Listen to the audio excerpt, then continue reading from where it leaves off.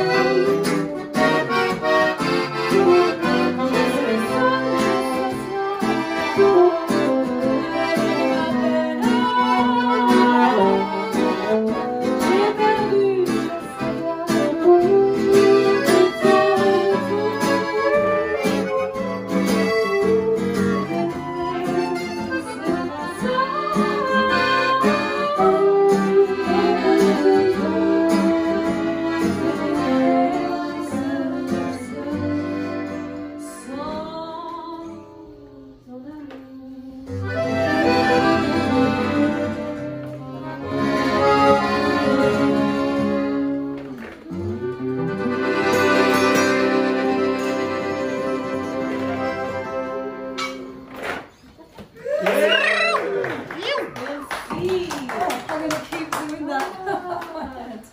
Wow. Welcome, good evening.